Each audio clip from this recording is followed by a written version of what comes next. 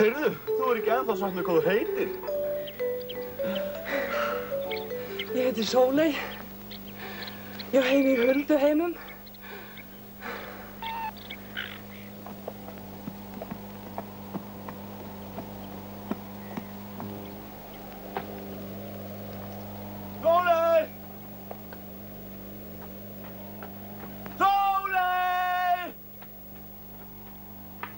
Alinn mýrin, dansinn hlýrin, binsinn lárin dansar og stígur sonar korn.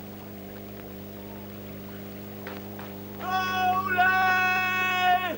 Þú kemur úr jörðinni svo tært. Hvað hefur þú séð ofan í jörðinni, tæra vatn?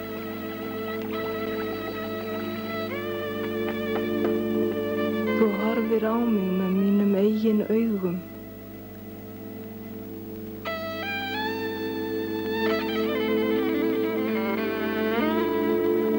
Svo kissur mig með mínum eigin munni.